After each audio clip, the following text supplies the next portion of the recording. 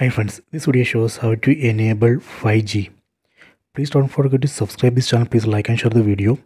First go to settings. Tap on the settings app icon. Tap on network and internet. Then tap on internet. Then tap on this Jio SIM 1.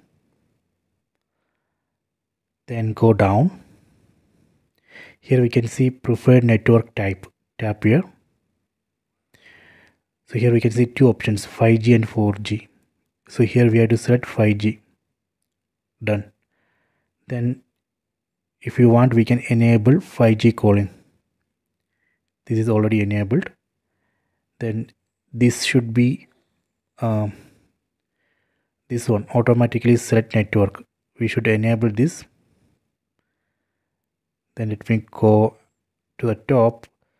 Then we have to enable this mobile data.